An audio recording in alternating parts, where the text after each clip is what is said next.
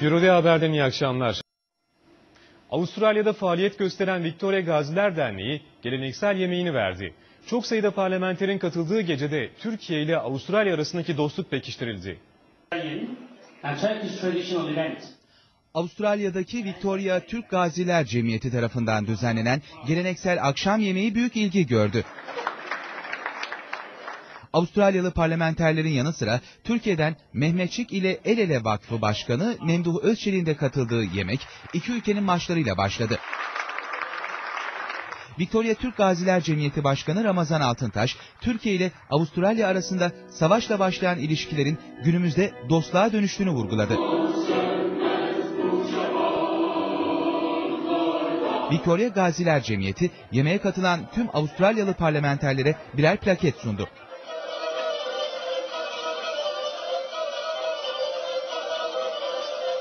Gece Ekol Sanat Okulu'nun halk dansları gösterileriyle son buldu.